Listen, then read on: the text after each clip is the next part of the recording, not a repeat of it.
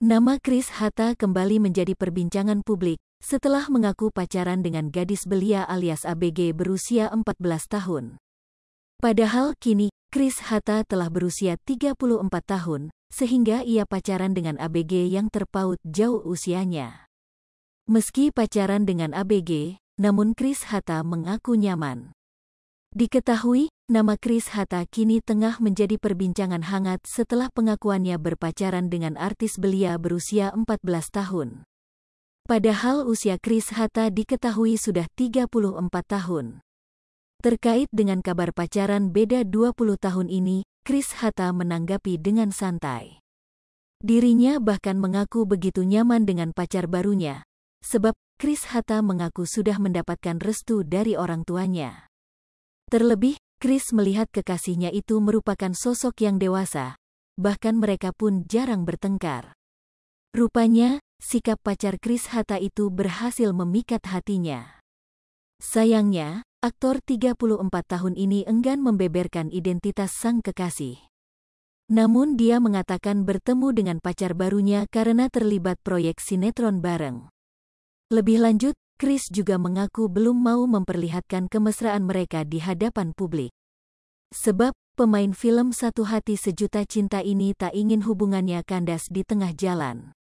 Kendati demikian, Chris Hatta tak menampik ada kekurangan saat berpacaran dengan gadis belia 14 tahun.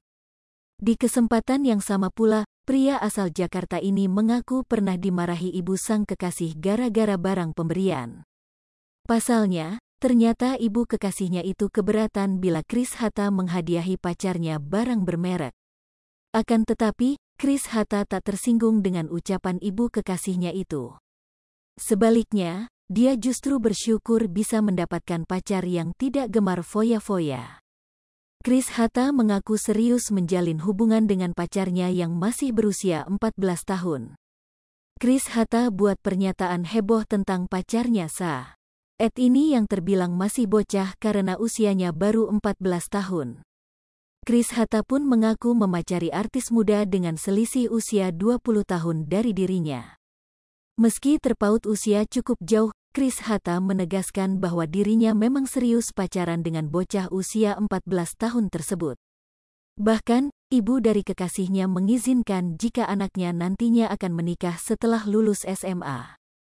Meski Chris pernah menikah, tetapi ia mengaku kekasihnya tak mempermasalahkan hal tersebut. Chris Hatta pun mengaku tak kesulitan menyesuaikan diri dengan pacarnya yang masih berusia 14 tahun. Diketahui, Chris Hatta beberapa kali pernah menjalin hubungan dengan perempuan yang lebih muda darinya. Chris Hatta pun mengaku sudah terbiasa menghadapi perempuan yang lebih muda. Namun, tak dipungkiri bahwa awalnya ia merasa bingung saat beradaptasi dengan pacarnya yang saat ini. Di sisi lain, Chris memang suka perempuan yang lebih muda. Hai pemirsa Sri Popo TV, jangan lupa komen, like, dan subscribe, serta tonton terus berita-berita terupdate lainnya ya.